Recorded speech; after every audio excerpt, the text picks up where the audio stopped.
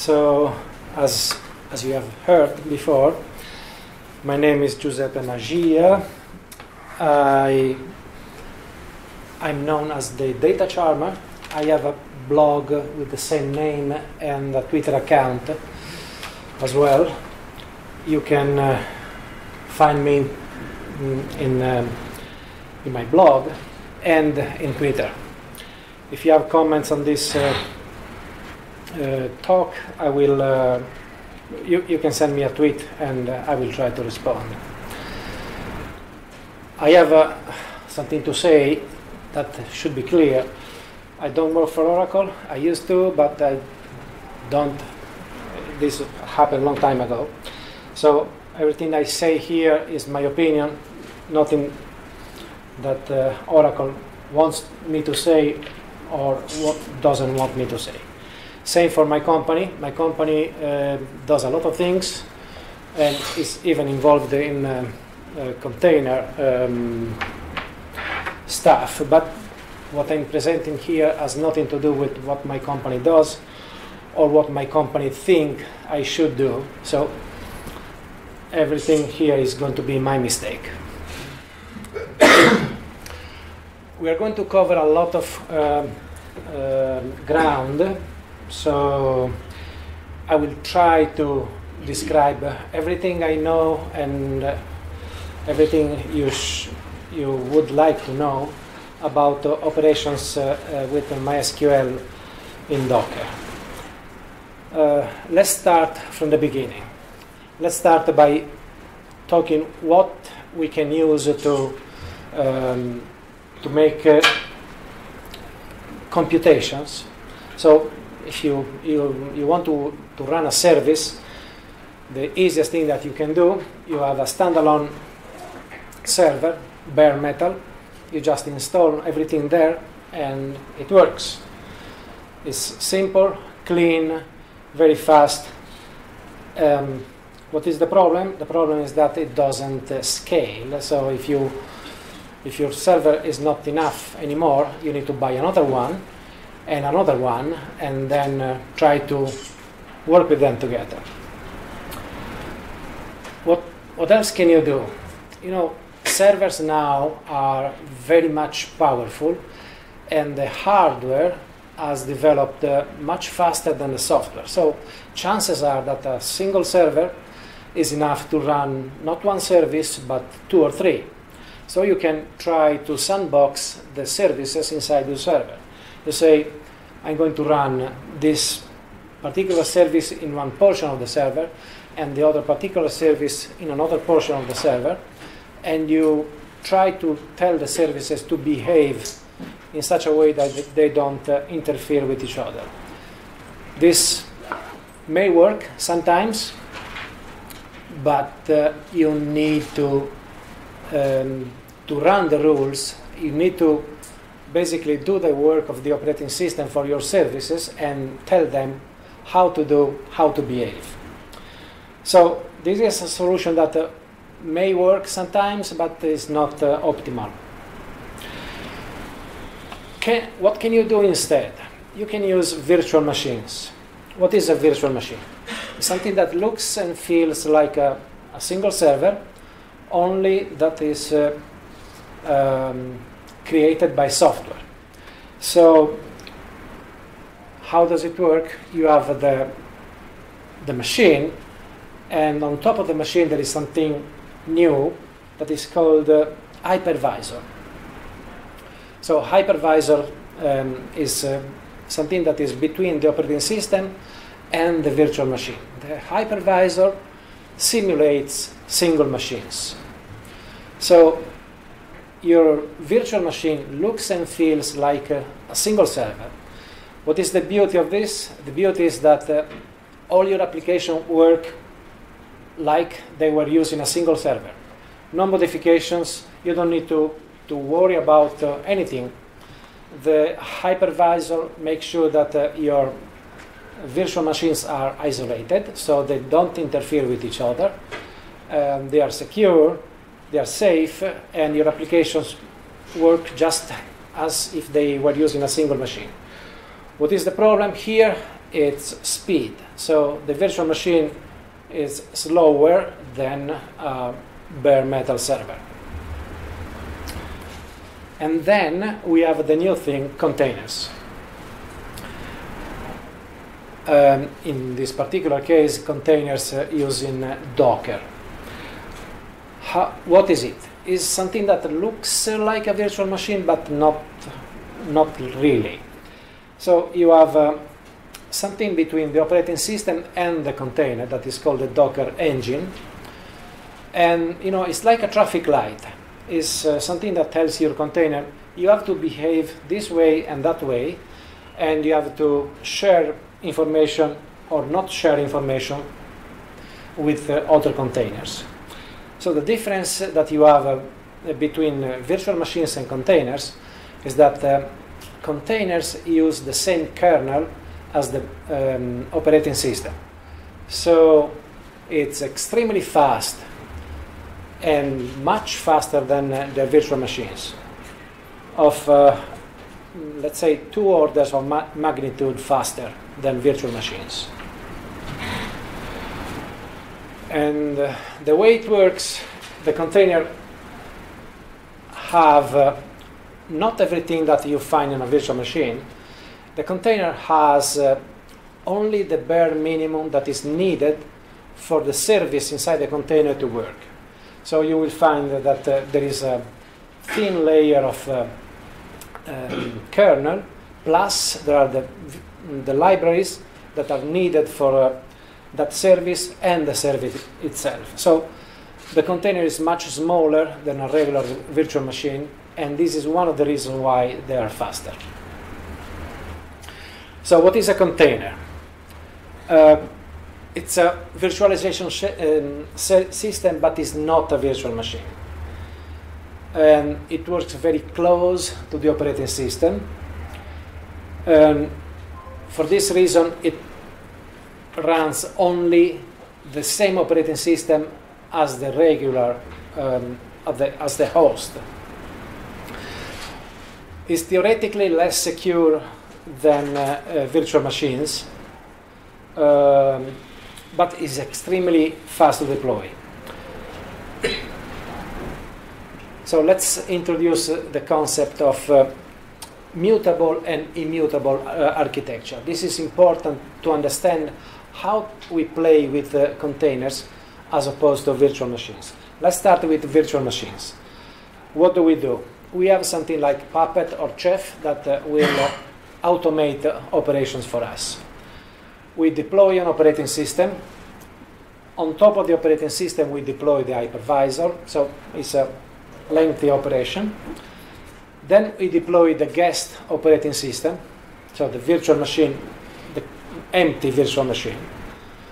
Then we install libraries and then we install the service.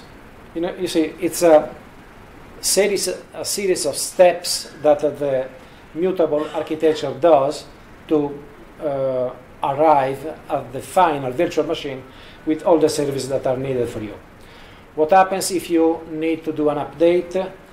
You just uh, deploy more libraries or replace the existing libraries and deploy more services or replace existing services. Again, is a multiple steps uh, procedure. Instead, let's talk about the immutable architecture, so the way containers work. We start with uh, some central organization like Puppet and Chef, we install the, the operating system, that is, you know, the thing that you put on bare metal, and then you, boom, deploy the full container with everything inside, and it's something that uh, uh, works in less than a second. What is the difference between uh, working with virtual machines and working with containers is that uh, when a container fails or we think that it may fail, we just remove it and replace it with another one. We don't uh, do like virtual machines that we um, deploy uh, new libraries or change the libraries or uh, try to modify the virtual machine. We just get rid of it and replace it. So it's a very powerful concept that uh, uh, is much faster than uh, working with virtual machines, but requires us to adapt to the new system and do operations in a different way. So be aware of this when we then start talking about uh, how to use MySQL with this, because you know if you have an immutable architecture, it means that you take the container away, and if the container uh, contains the database, this is bad. So this is the focal point of using containers. Remember that uh, in uh, immutable architecture, you just uh, get rid of containers and replace them. So you need to have a way of preserving the database and not uh, throw it away because otherwise, you know, the purpose of using a database will be nullified. One thing that uh, is not uh, the focus of this presentation, but I want to talk about, is because uh, many people um, confuse uh, containers with microservices. So what is microservice? It's not uh, something that doesn't have an operating system, doesn't have shell, doesn't have extra features as only the things that are needed to um, to run some particular service. And the definition of microservice is that uh, you can uh, put them together very easily. So containers are not microservices, even though sometimes the two things can uh, identify between each other. So how should micro microservice work? Microservice work like Lego. You have several pieces that you put together and produce um, a whole that is the more than the sum of the single microservices. So you have some, mm, let's say, a component that has a Python application, another component that has a Java application, and another component that has a database, and you put them together inside, uh, let's say, an infrastructure, and they have a way of communicating to each other. This is not has, uh, how container works the container work in a different way. Instead of uh, having um, every um, every component inside um, inside the same container, every component here has a, its own container. So the philosophy of containers is that you can play very well with uh, applications that uh, are easy to work with uh, across a network. For example, you can work very well between um, application service and a web service, uh, a web server. They are designed to work across a network, so they work very well together. And somehow also databases and um, web apps work very well in containers. But the difference is that uh, these are not microservices, they are separate uh, um, containers that uh, somehow can work together, but they are not designed to work together. Okay, so uh, one thing to refresh about virtual machines virtual machines boot quite slowly if you, you can replace a, a, virtual machine or create a new one, something in minutes. Um, a container uh, can deploy in less than a second, and usually in very small fraction of a second.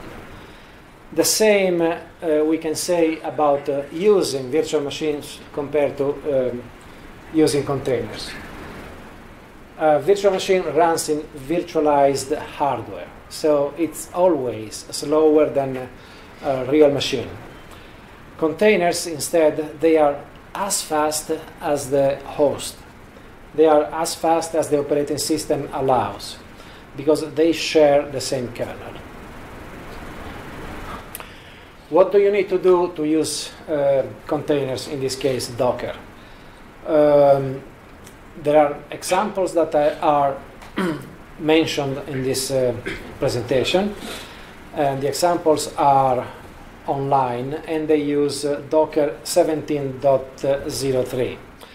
Be aware that uh, until a few weeks ago, this 17.03 was called uh, 1.13.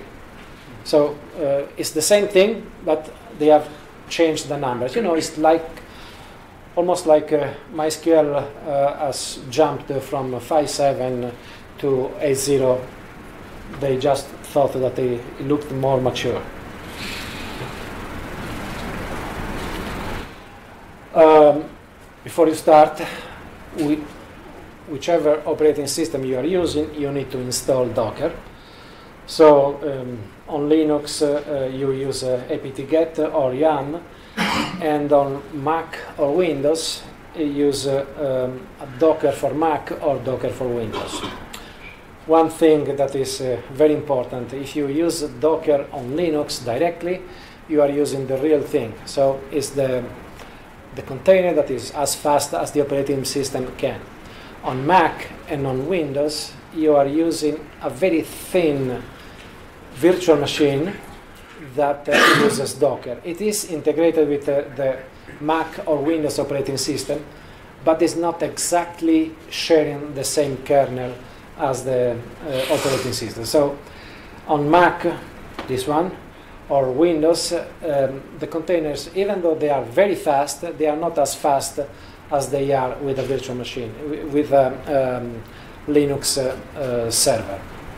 The container which is discussed here is nothing but LXC, the Linux LXCs, Linux Uh, containers.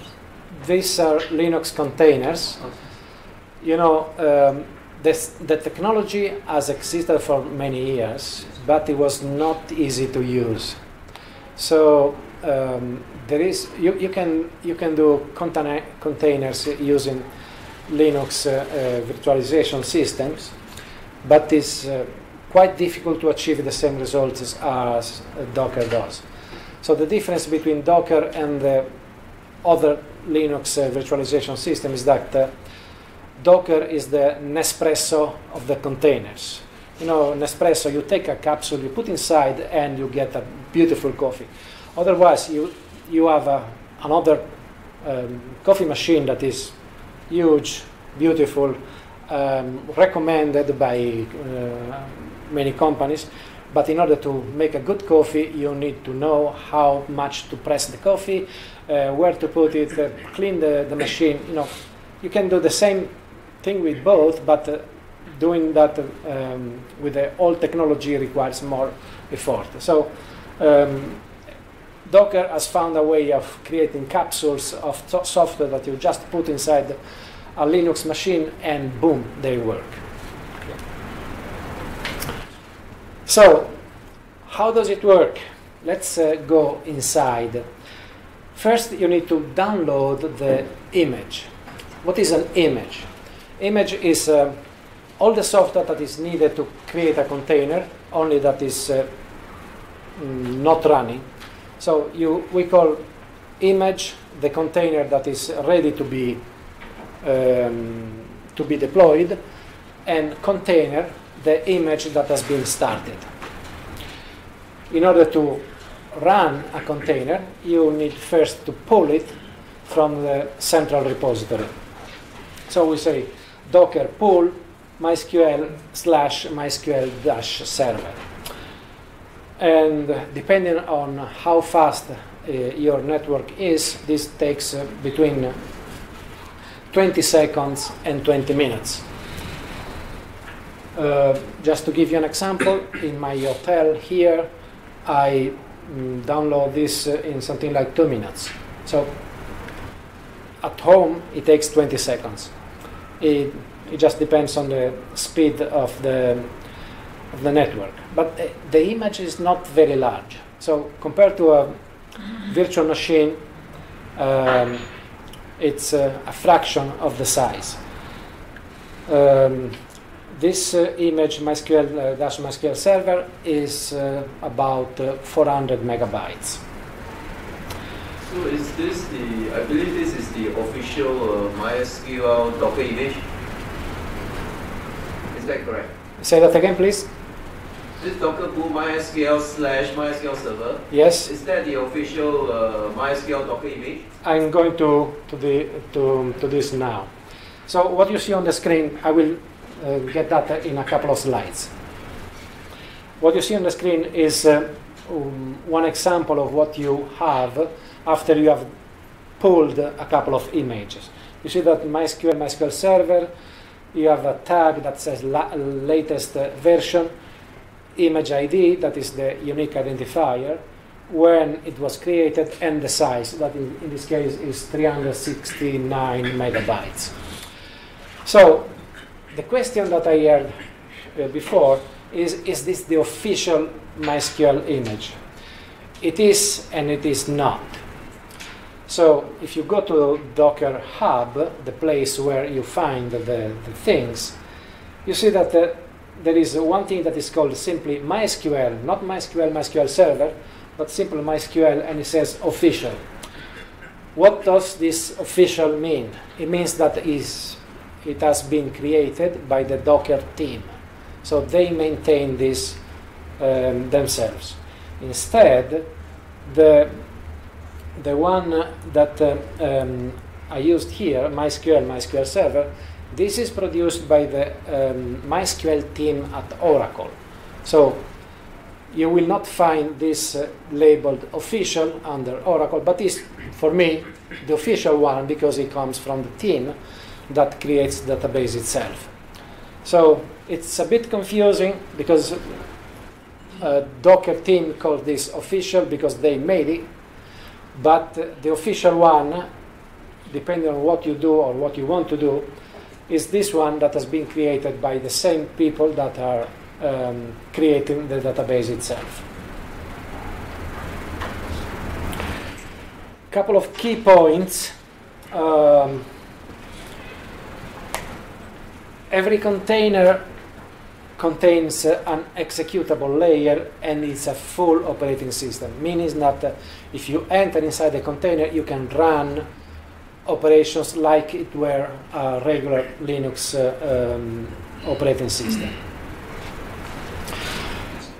Containers are always linux. So here in the mac i run a container i enter inside a container and i have uh, linux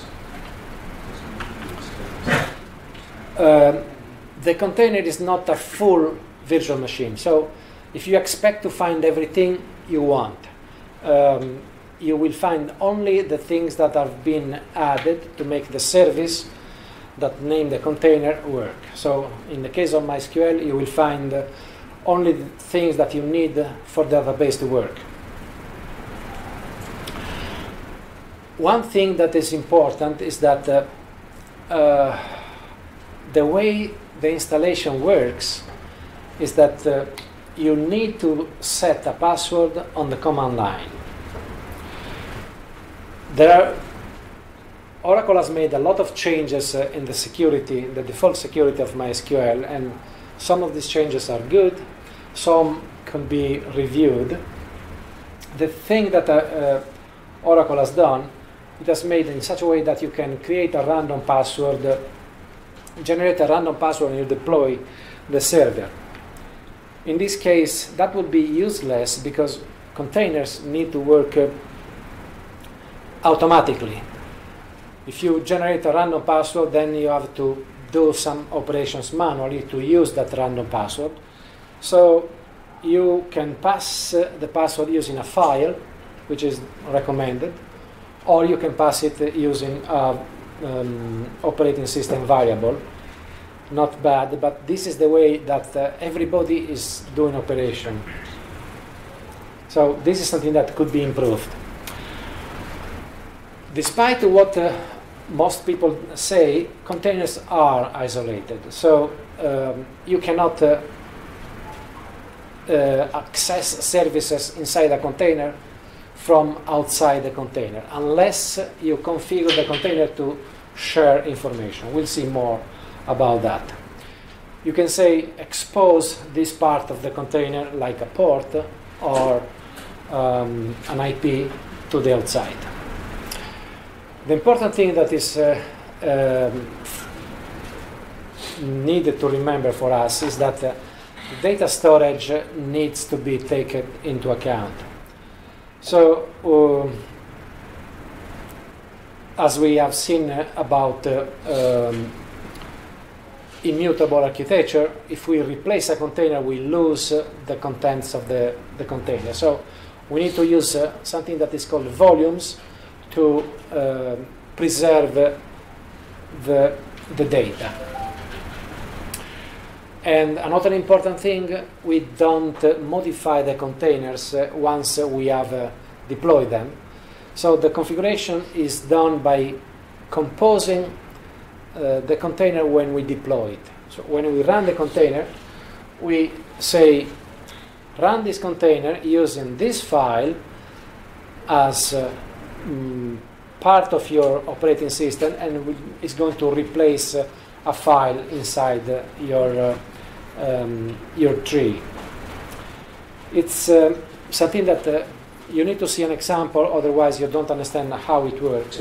But the general concept is that uh, you don't modify things, you just prepare things that you want to put inside the container, and then you tell the container run using this file instead of your default file or in addition to your default files. Let's see a couple of examples to uh, understand what we are doing. If we want to deploy a single container, we use the, the command docker run plus the, um, the options. For example, this is the minimum you can do to deploy a container. Docker run minus d, minus d means uh, daemon, run as a daemon, so become a, permanent service, and the name of the um, image, MySQL, MySQL Server. However, this command will fail. I mean, the command, the, the container will be deployed, but it will fail immediately. It will not work. If we look at the logs of the um, of the of the container, the log said uh, MySQL root password was not set. So this is what we need to do. Remember, it was one of the key points. We need to set a password when we um, when we run the container. So let's try once more with uh, more information. So here we do uh, two different things. We use a name, and then we say minus e minus e stands for environment, and we say MySQL root password equals this is my password. This is very unsecure, but unfortunately, it's the way that the Docker team made it, and the MySQL team use it copied instead of uh, introducing something better. So this will work. So the MySQL um, server will start and will, uh, will be usable.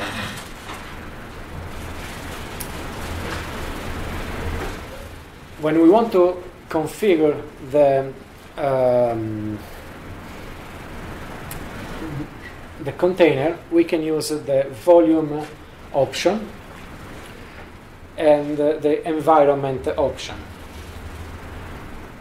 Let's talk about volumes. We have three cases that we can use we can create a volume and uh, we can say the container one has a, a volume named data. Data did not exist in the image and it's empty. And then we can run container 2 and say use the data from container 1. Why do we do this? In this way, we are um, using a centralized data that we can um, use for exchanging data between containers. Case 2, we have a data that is already in, in, in the, inside the image, and then we create the, the container and then we say use the data from the other container. This way, the second container can take uh, software or data that uh, was deployed inside the first container. The third type, that is the most common one, is uh, the volume inside the, the container is mapped to a folder in the outside operating system. And this is what we do to run databases. So since we delete the container when uh, they become uh, unresponsive, we use uh, a volume to put the data inside. So the data is not inside the container, is inside a safe portion of the operating system, a different partition, anyway, any place that you think is safe. And this way, the container is uh, running the database and uh, it looks like it's using the data inside the container, but the data inside the container is pointing to, the, to a folder outside. Let's see an example of a, a customized uh, container. Now, we want uh, to, uh, to start a container with a binary log uh, and server ID one thing that we can do, we can just uh, add the options to the command line. Uh, so we, after, after everything that we have done before, to run a simple container, we just say minus minus log bin and server ID 100. If you have only one thing to change, this is enough. But there is a better way of doing this, especially if you have a larger deployment of containers, this is what you can do. You can create your own uh, template for um, MyCNF. So in your minimal CNF, you put uh, what you want to to replace, uh, no, what do you want to, um, what you would put in the regular etc my, myCNF. In this case, we have logbin, server ID, and user. So what can we, what, uh, um, what do you do? We use the volume, the minus v, to say match the minimal CNF and make it in such a way that it will be etc my CNF inside the container. And this is what uh, will happen. So the, uh, the container will have uh, etc my CNF that has the same thing that you see here in minimal CNF. And we can check that we have done uh, what uh, we wanted. So we use uh, docker exec minus ti means uh, um, minus terminal interactive, the name of the container and the command that we want to run, in this case bash. Um, so we run MySQL and we check the server ID, and the server ID is the one that uh, was uh, um, created using the file that we passed as a volume.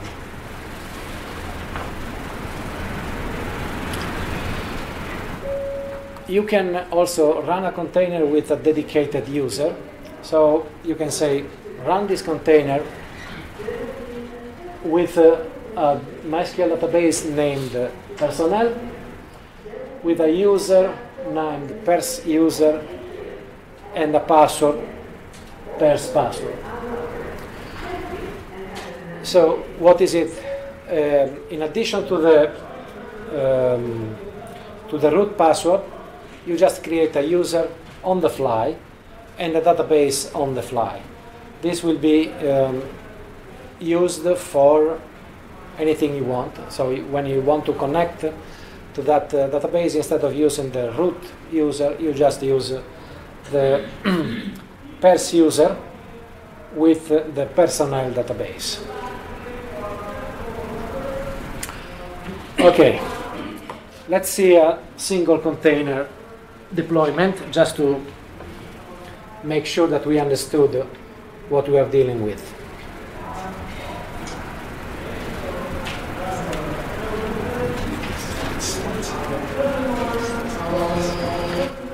So here you see we have the same commands that we have seen in the slide. Now we are going to execute them.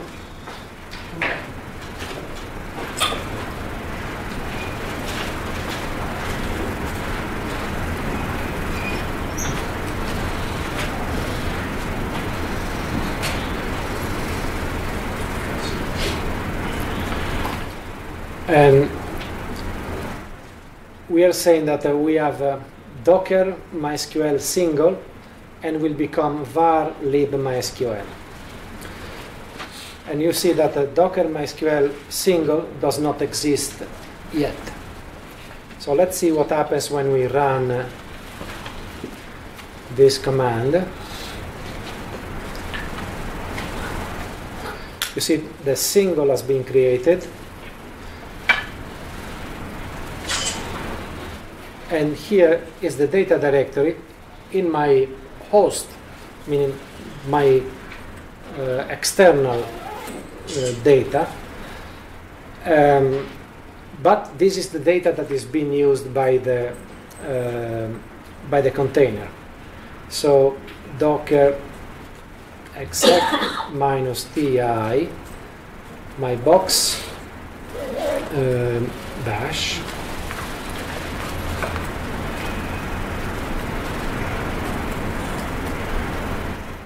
if we do you see this looks like the data is inside. So what can we do here? Just to make sure that is touch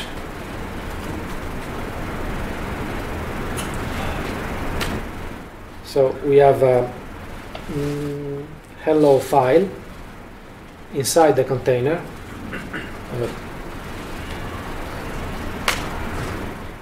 And the hello file is in my in the external um, in the external place. So we go inside, we say MySQL minus p secret, and we are inside MySQL. So this is a single, uh, simple using usage of the container we have deployed a single container.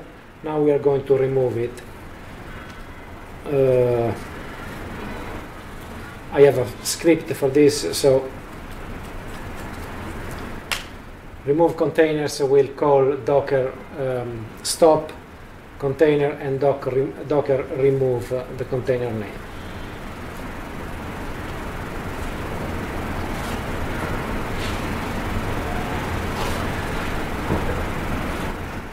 Let's go back to the point.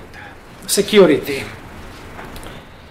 So we have seen that uh, we are passing the uh, password using the minus e.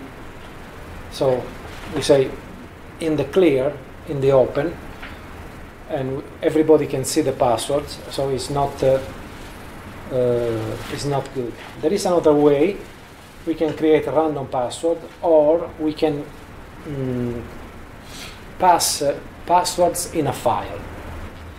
So this is the approach uh, uh, suggested by the MySQL team. Um, you instead of passing the password, you say MySQL random root password equals yes. And what happens then? That in the logs you will find one line that says generated root password and this is the password. So the next time you connect, you have to use this password and eventually, depending on uh, how the server is configured, you have also to change it. This is good, or let's say that this is safe when you are using uh, the, the container manually. It's uh, not good at all when you want to use containers automatically. So what can you do? You can uh, use uh, another feature that uh, I requested and the MySQL team implemented. So instead of putting the password in MySQL root password, you can put a file. So in this case, uh, we are not uh, uh, passing a, um, a password in the open. We are just passing the name of a file. What are we doing here? First, we create a, a random password. This is the not, not the most secure, but anyway, it's one way of doing it. Uh, echo random, and then we have uh, um, SHA-256, and we get the first 16 characters. So it's a random set of characters, and we put this uh, password in pwd.txt. What do we do?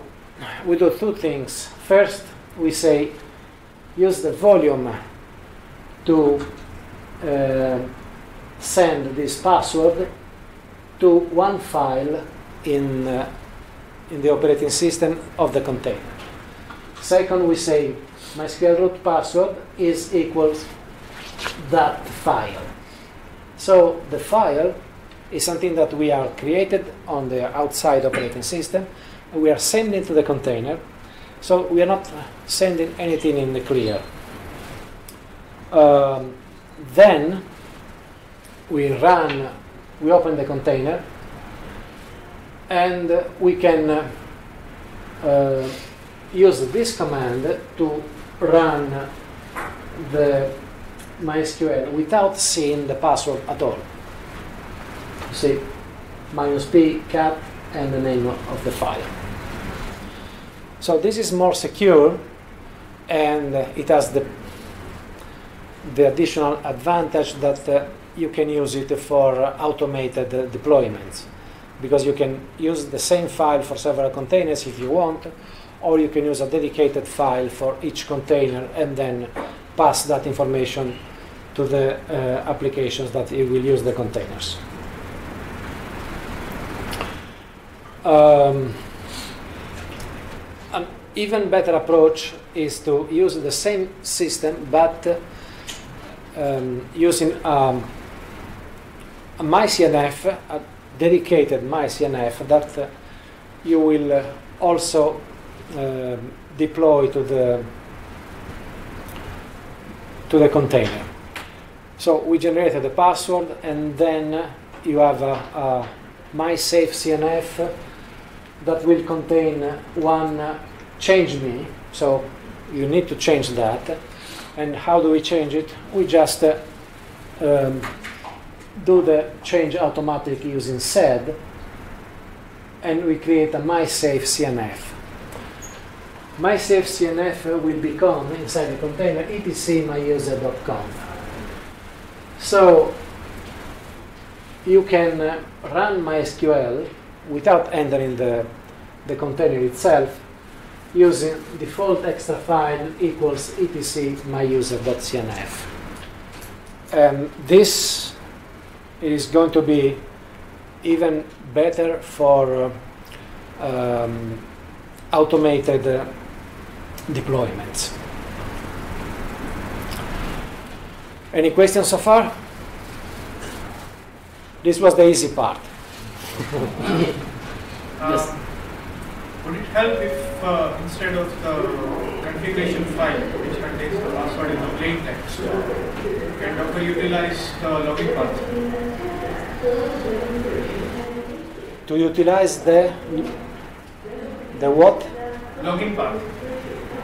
So MySQL config editor can create uh, login path which contains the password and automatically can pass it to MySQL it, it would it would help, but it's not supported by the the image.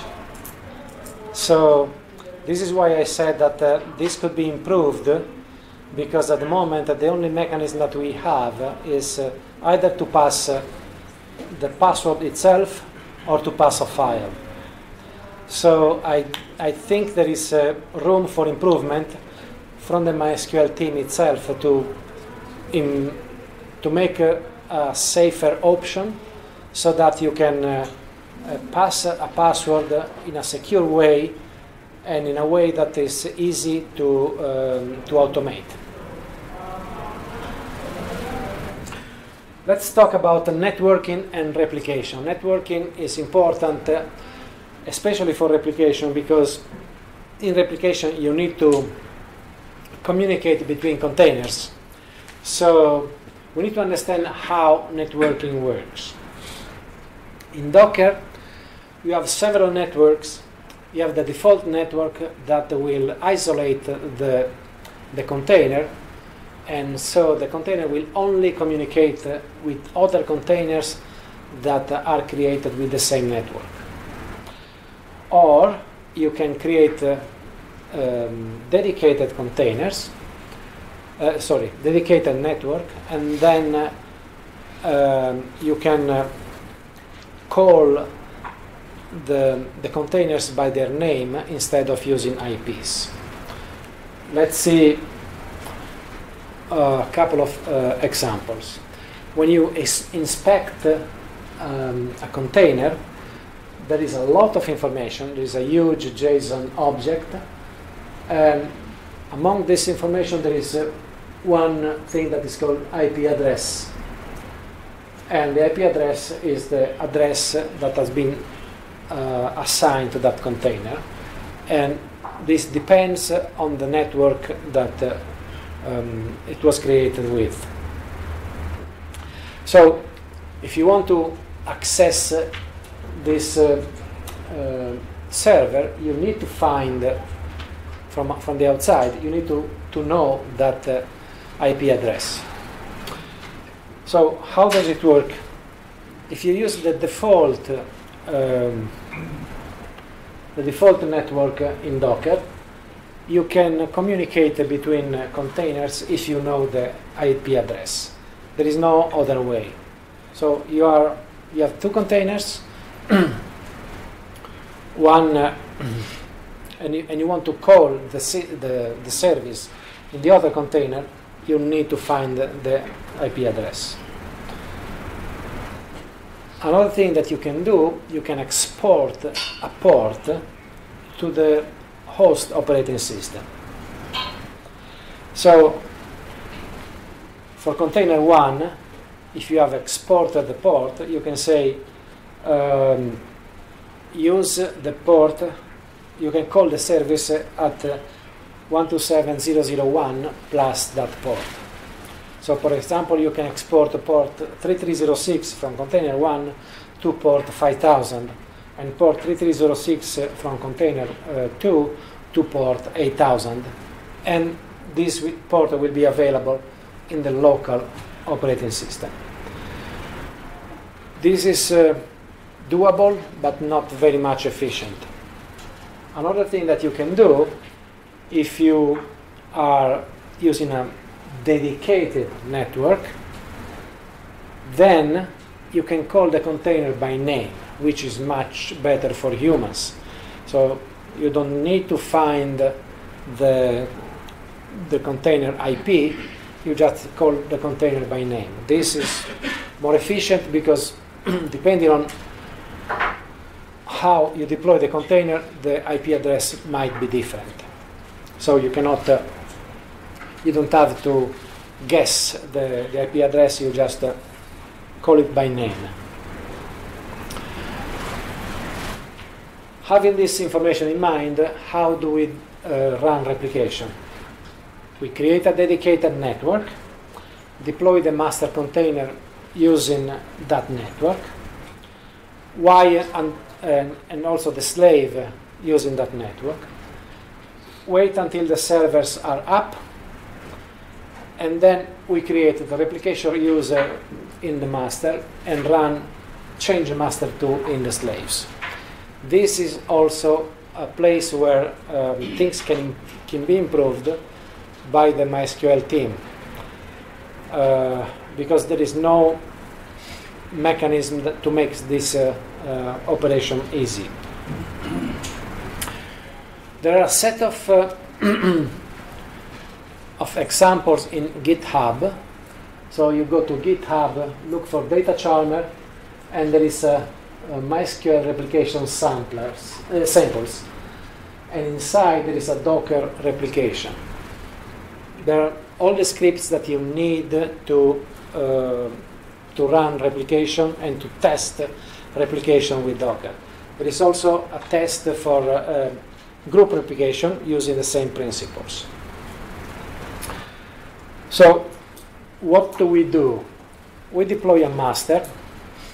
To deploy a master, you create a template um, MyCNF where we leave the server ID as a, as a placeholder. And everything else uh, is uh, standard uh, options. So nothing that uh, should change. We put GTID enabled, so this is ready to, to run with GTID. What do we do? We change the server ID uh, and send the information to one temporary table, temporary file that we we will use as a MyCNF for the master. And we use several volumes.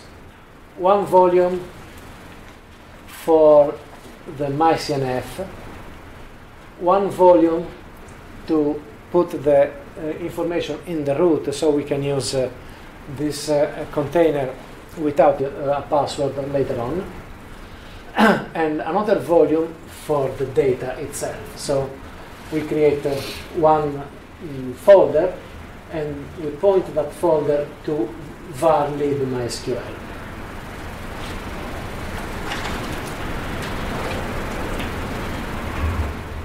Uh, notice that we are using the net myrep net and the same uh, network we are using for the slave. And we do the same things for the slave. The only difference here is that uh, we have a different uh, server id so after that we need to check that the server is ready so what do we do we just uh, send a query to the um, to the server, and if the query returns uh, um, the result that we expect, then it means that the server is ready. Otherwise, the server has not finished the startup, so we we keep doing that for a couple of times. Um, then remember we have the temporary file for the MyCNF that we put in the root. So after that, we can enter the server without using a password. Next step, we called, um, we created the replication user.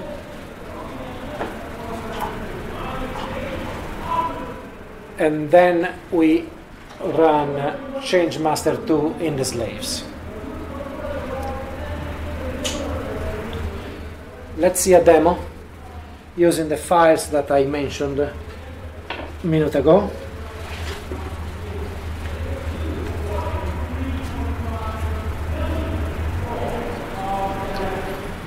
Uh,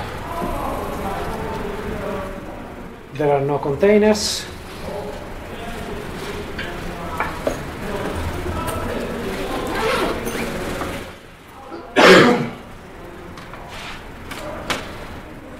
This is the file that does what I have shown to you in the in the slide. So it does a lot of uh, checks more, uh, but in the end it does uh, the main thing that is uh, several volumes and uh, the the setup of the servers. Then we check that the, the server is ready, and finally we call the replication command. So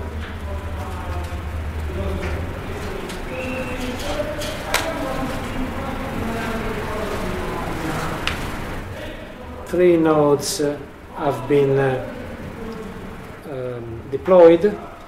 Now sleeping for 10 seconds and then we'll try to, to check if the, the node is ready. You see, it's not, uh, it's not started yet.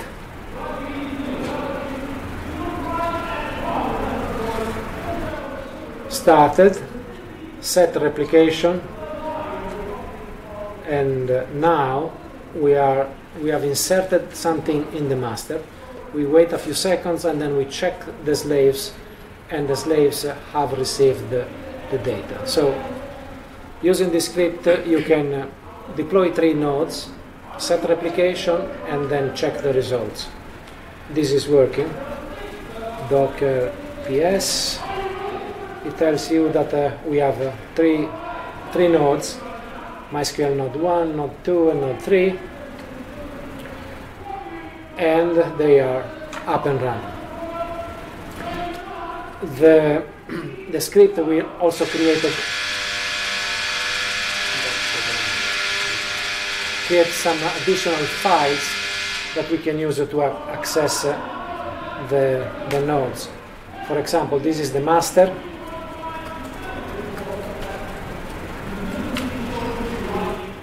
So let's do create a schema db1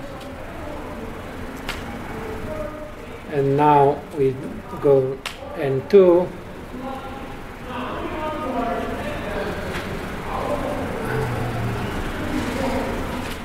show schemas and you see db2 db1 exists so it means that uh, the, the system works. We remove the nodes and continue with the presentation.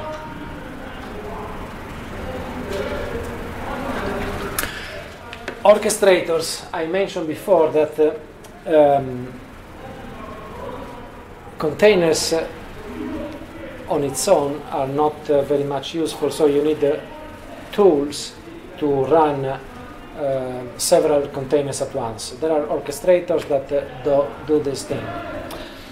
The problem with existing orchestrators is that they, they play very well with almost everything except databases. Why? Because I told you databases require um, handling of volumes. So there is one exception to this. There is Uber.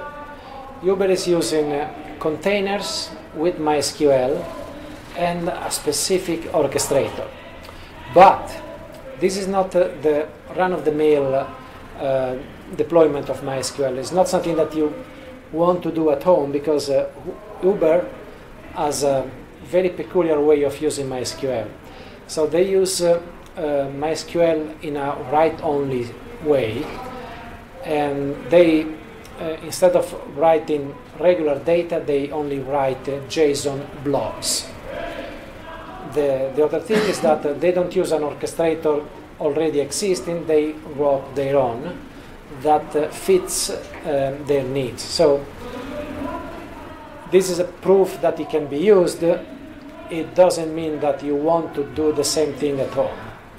So the lesson for me is that orchestrators still need to evolve in such a way that uh, can be used uh, with uh, databases uh, a bit better. Another thing important to understand is that uh, you, you will find a lot of services that offer you Docker with orchestrators in the cloud. For example, there is a service of uh, Google that offers um, Kubernetes it works on the cloud. And uh, you have to understand that uh, this will uh, make uh, uh, using, uh, using Docker not as convenient as when you, you do it uh, on your Linux machine. And I'm going to show, to show you the reason. So, if you are using Docker in, uh, in the cloud, you have uh, First level, okay. And then you have a hypervisor, second level, Then you have a third level, the virtual machine, and finally you have the, the container. So all the benefits of performance that you have with containers are lost. They are still fast, they are still convenient to use, but is not the thing that you want. So this is wh- why do you find this in the available in the market? Just because they can. So this is uh, in the interest of Google, Microsoft, and everybody that is offering this. It's not in your interest. There are a couple of companies that are trying to create a um, system that is based on containers and uses containers natively. Oracle is among them, but my understanding is that it's still uh, early and is not coming out uh, very soon. But anyway, there are a few companies that are offering container-based cloud. Uh, they are not very, very famous yet. So be aware that the service that uh, are offered right now might not be exactly what uh, uh, is best for you. Um, let's talk about group replication. Yes. I have a question on the, on the previous slide about the uh, Yes. Docker in the cloud. So I understand that from a performance pers- perspective, it might be a waste. Will some of the one of the advantages you mentioned would be the uh, how easy it is to maybe to deploy a container. Yes. One. What about the security aspect of having uh, isolation between the processes that run inside the? This, it will be the same as you have uh, on a standalone machine. Because the security that you want is between containers. Exactly. So it, this is the the it's um, let's say good enough security. is not uh, as good as uh, you have uh, for, with virtual machines, but it's very good. So it means that uh, um, you cannot uh, export data between containers, but two containers might uh, uh, affect each other in performance because there is not uh, as much isolation as you have with, with virtual machines. But the, the level of security is the same that you have uh, in a uh, standalone machine. So group replication. We have seen a small presentation of group replication, and this is the new thing uh, uh, that was uh, released as GA by Oracle in October 2016. Um, what is the main difference? Uh, you will find out uh, in, uh, in a presentation that is devoted to group replication this afternoon.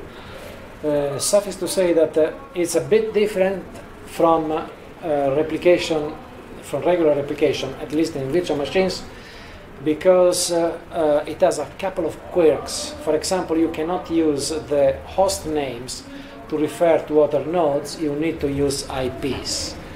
And this is a limitation of, at least of the first version of uh, group replication that I found to be problematic. So we pull the latest uh, MySQL server because we need it to, to run uh, group replication, 5717, and then we do a couple of operations and don't worry about uh, all the details here. Everything is taken care of uh, by, um, uh, by a script, and the scripts are all in uh, GitHub, the same place that I told you before. This is the link that takes you di- directly there. So what do you do? You create a network, you customize the MyCNF, uh, deploy the nodes, and start a group replication, and finally you check status. Uh, let me let's go directly to the demo for this. so we can see how it works.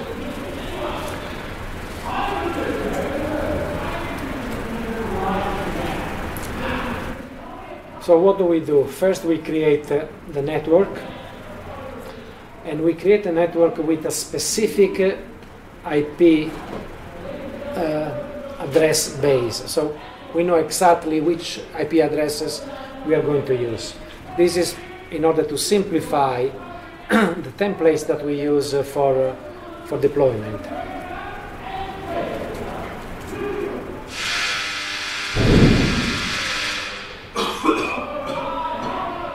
Uh, the point that we have uh, is that uh, group replication requires uh, you to set uh, the group replication seed that unfortunately, as far as I know, only work with a specific IP address. So we have this template and the shell script will replace the base IP with the IP uh, created by the network and make a different one for each node.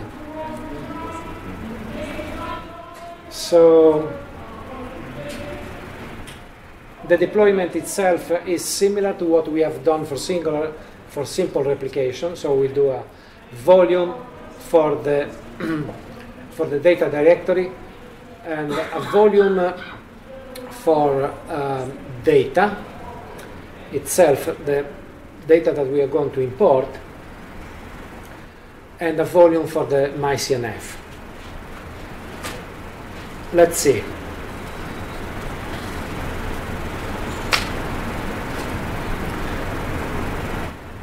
We have deployed three nodes, and let me show you uh,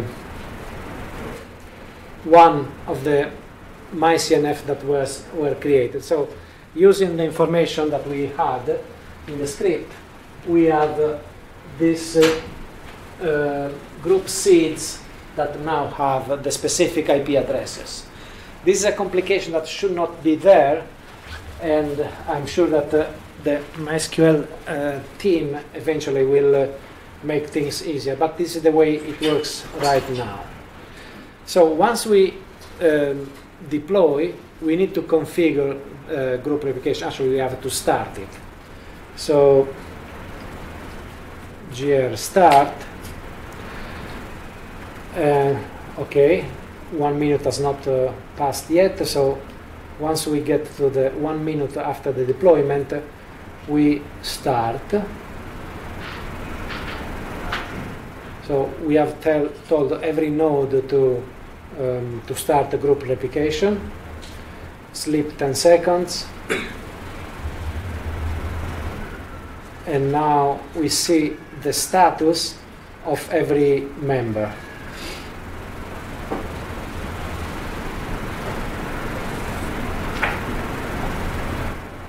Two are online. Now the third one.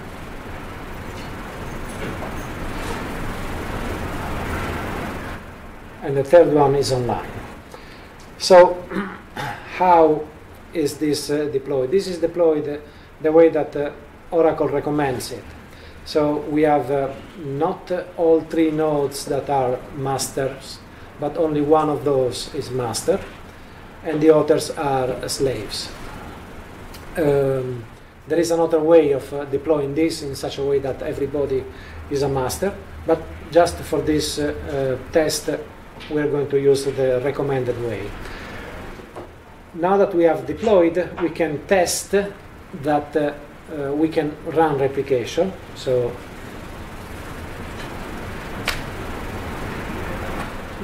this was too fast. Basically, we have uh, mm, we check that uh, we don't have a test uh, schema. Then in uh, node 1 we create a table in test, we create te test, we create a table in test, and then we check again in all the nodes that they see a test database and uh, this uh, the table T1 exists everywhere. So using group replication, uh, we have uh, created a node and we have uh, um, created a table and the table has been replicated instantly to all the nodes. Now we remove everything and back to to the presentation. You know, you can uh, deploy several things uh, in uh, containers, but you have to obey what is available. So the official MySQL image, meaning the ones that is created by the Docker team, uses Debian. The MySQL image from Oracle uses Oracle Linux. Um, the Percona server image uses CentOS. And you can only uh, run MySQL 5.5, 5.6, and 5.7, ah, and lately also 8.0. Um, if you want to run 5.0 or 5.1, you can't. Or if you want to run MySQL 5.7 on CentOS, you can't. So you need to, uh, you just need to run using the containers that are offered. However, there is another project in GitHub uh, that you, you will find under my username. So there is a collection of uh, reduced uh, MySQL images from 5.0 to 8.0 and customized images uh, for uh, Ubuntu, CentOS, and Debian. What does it mean? It means that uh, you want to run MySQL 5.6 uh, in Ubuntu and you can. You just deploy two containers and mix uh, the MySQL image for uh, uh, MySQL 5.6, the minimal, plus the Ubuntu. Let's go back to the volumes that we have seen before. Case number two for the volumes was uh, when the data existed in the images, in the image, and is used by the uh, other container. How do I do this? I take an image very small. Um, there is an operating system, a Linux operating system called BusyBox, that is uh, something like five megabytes, so it's very thin.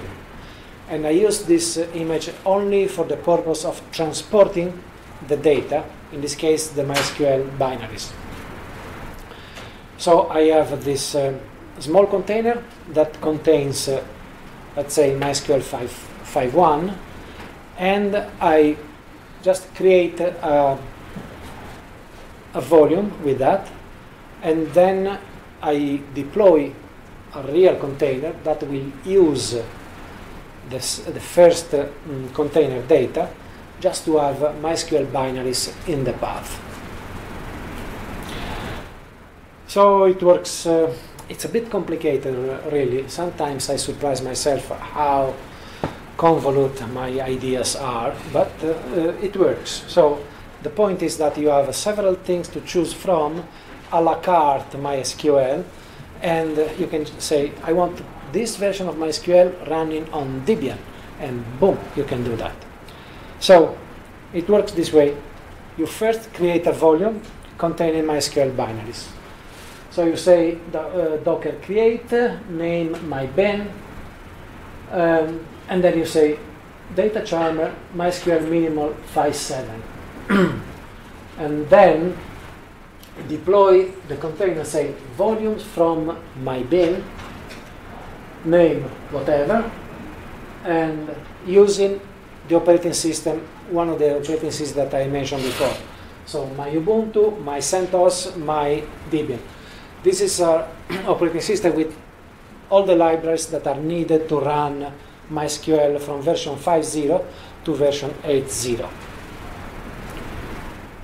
Um, this is what you will find in uh, the Docker Hub about uh, this uh, alternative container. So you have uh, MySQL minimal 8.0, 5.7, 5.6, 5.5, 5.1, and 5.0.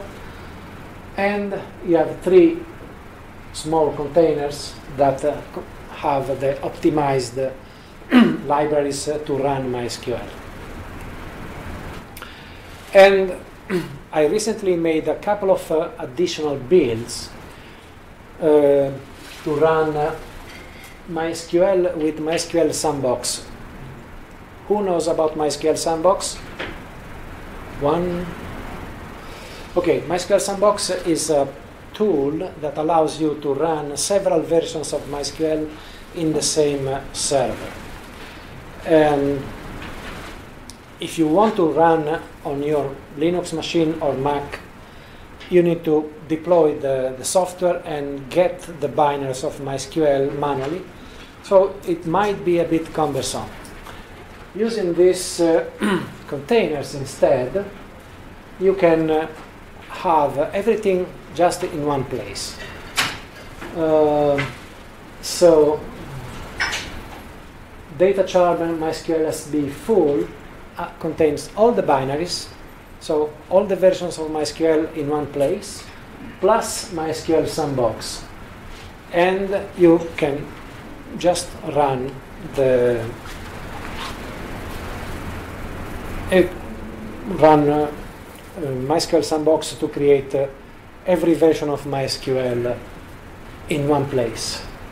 Um, it costs you a bit because it's 900 megabytes, but consider that uh, uh, these are squeezed MySQL binaries. So, for example, if you take uh, MySQL 8.0, the original, it's 1.2 gigabytes that expands to 3.3, 3.5 mega, uh, gigabytes in your disk. Instead, these are reduced basically MySQL 8.0, it's 158 megabytes only. So let's see the last demo.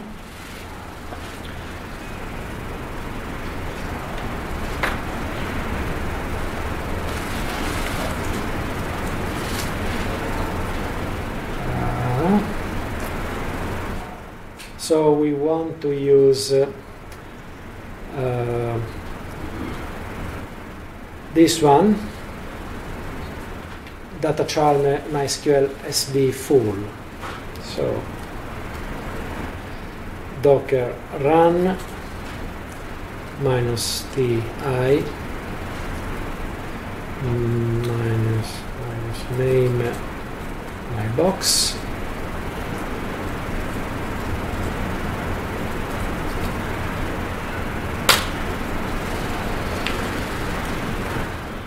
takes a moment because it's big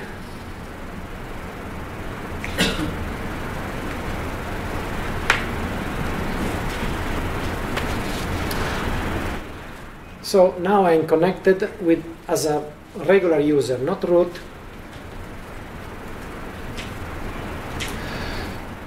The name of the, this user is msandbox. Uh, MySQL is not here, you see, but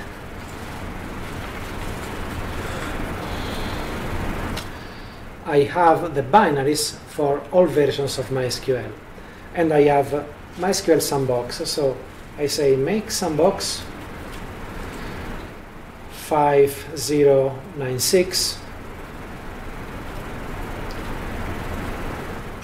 and then I have a sandbox for MySQL 5096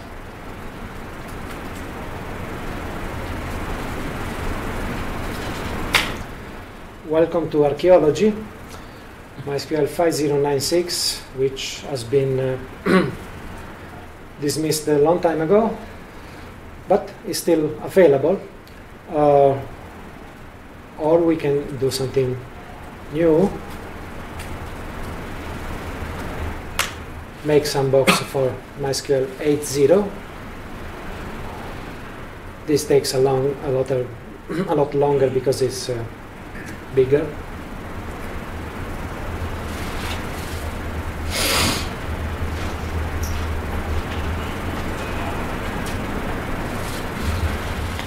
Come on. Okay.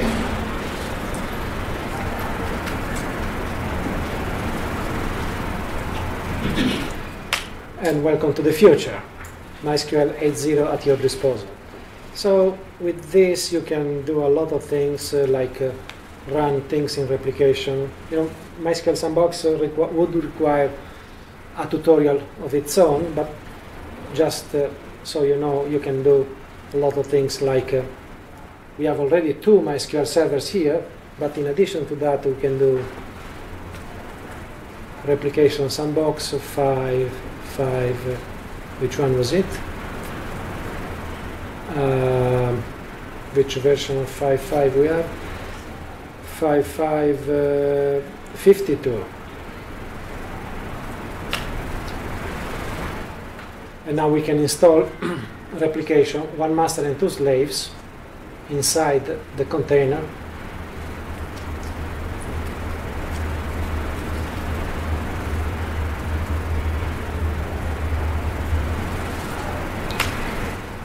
And you can see that the replication is working. And then we exit from here and and very cruelly we are going to remove it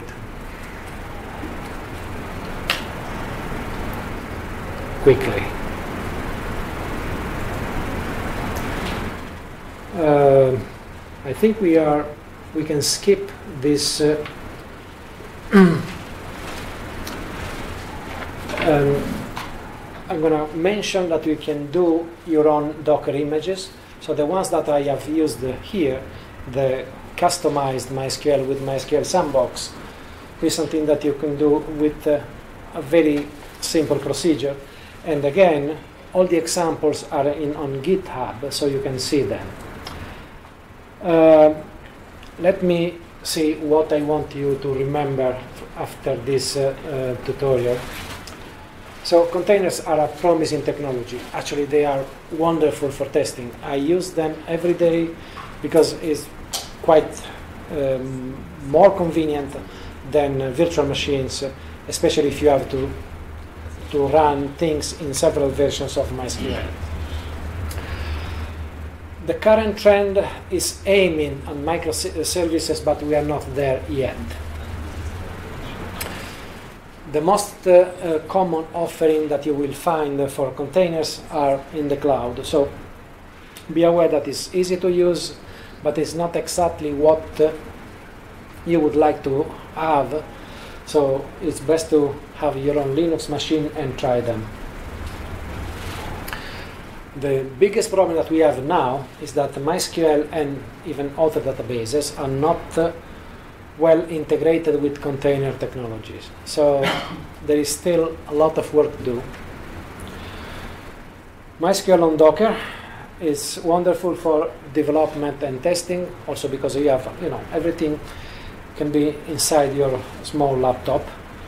But if you want to use it in, uh, in production, you need extra care. So uh, it could be really wonderful to, to use in production, but you need really to have all the tools and to test everything before you do it. I have seen more horror story than good stories about uh, uh, MySQL on Docker uh, in production, so be careful. Questions? I know that it's lunchtime and you want to know when can we eat. so this is the most comprehensive coverage of Docker with the application that I've seen so far. I've attended a lot of Docker presentations. Okay. So I, I'm sure one question that a lot of us will be asking is, uh, is your slide deck available somewhere? Is my what? Slide deck. Uh, yes, I just put in uh, in Dropbox, uh, and the, you know there is a Dropbox uh, uh, folder for uh, all the presentations of FOSSASIA. I didn't.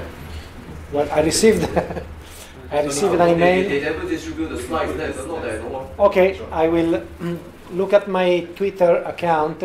I will post a, a link to that uh, to that uh, uh, presentation in a few minutes. And your, you said your demos are on your GitHub. Is that correct? No. Your demos? Did you say that they are on, the, on your GitHub account? Well, but you don't have to, to get them all at once. Only the, the, the things that you need. So you will uh, get the presentation from uh, from Twitter. Let me go back to the point where I talked about this. So Twitter data charm. Start following. I will put the the slides there soon. More questions? Are you excited? We Uh, are excited. terrified uh, or what? Yeah, we are excited, uh, especially with the Dockers. But uh, what I get, and this is my perception as well, and exactly the question which is, you already answered it uh, in the last slide. Docker is not ready for the production, but for testing. For testing, I re- highly recommend it. I know many people in the MySQL uh, team that are using Docker on a daily basis for testing, just because it's very convenient. But the specific use case for testing, for example, as you mentioned, there is some uh, Docker image which is 5 MB is available, so you can create your shared storage there, and then binaries for MySQL, and then uh, you have different Docker versions for MySQL, and then you have run it for testing purpose. So you have a centralized uh, repository for binaries of MySQL. Me, no, I use uh, the, the Docker Hub, which is free, so I just put everything there. So if we have a shared storage, can we use any shared storage in a Docker? Means uh, Uh, instead of the local uh, machine, the host machine, can I use uh, different uh, different one? you can you can uh, use your own machine and docker offers uh, also several uh, plugins to to create volumes in different places. So there are plugins for google uh, cloud for microsoft cloud for a lot of things. S3, Amazon S3. i think so. So like we have a I, i'm not sure. But just uh, uh, look for uh, Docker volume plugins, and then you see a long list of things that you can use instead of your own machine to uh, to deploy to deploy volumes. I don't know if they work well with databases. so uh, we, I'm not sure if you have a concept of uh, Oracle RAC. RAC is an Oracle product where Yes. we have a shared storage of uh, NAS or SAN, and then we have a multiple instances of the database running and fetching the information data from a centralized storage. Can we do same kind of thing with the Docker? Means we have a Docker. MySQL instance is running in a one Docker. Means uh, multiple Dockers. Don't, don't, No. don't. It will fail. Uh, maybe, it, maybe it won't fail immediately, but uh, it will uh, corrupt data. So uh, there is a way of uh, running share uh, data with uh, MySQL, but it's not uh, it's not out of the box. So there are solutions. Uh, for example, the the are um, uh, what is it? DR2B, DR2B, DRBD. DRBD. DRBD. yeah. Yeah, and this is the only one that you can use to to do something similar, but uh, is it only works with two nodes, and uh, it's not exactly what you want to do. So if I have seen places where they use a, um, a shared um, volume and uh, several MySQL that are connected to that, but only one at a time should be active. Otherwise, you are corrupting data. I have one more question. Yes. Okay, uh, regarding Uber, you have mentioned something orchestrating, uh, they are managing, Yes. they are managing their databases, JSON based, only write only DBs, something like that. Uh, I call it write only DBs because they are basically, uh, instead of using MySQL in a traditional way, they are just writing inside um, JSON blobs. Yes.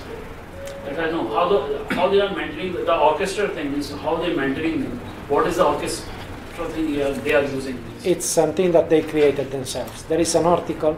If you look for uh, Docker, um,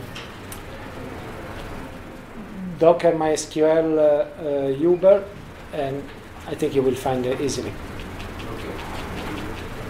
It's it's a very interesting article and very scary. Same time. So they, have, they, they did a good job with the JSON based thing. Once I, I read the article of the means uh, I, the I'm, not, project Mezzanine. I'm not convinced, but uh, I I only know that it works. I'm not something that I want to do on my own. Means They have split the right actually. They have split the rights. So sharded the databases Yes, and yes. it's easy to order any big table. Means The biggest pain to uh, do anything in a MySQL is to order a big table. It will need a downtime actually. Or either you have some, uh, you do on the slave and then promote it a master, or these these kind of things are error prone. I, I don't know the details, so I won't uh, comment more on that. Any more questions? Any questions? I'm not sure the next time you see uh, face to face uh, with uh, UCP in Singapore. So, uh, last chance. Thank you very much uh, and have a good meal.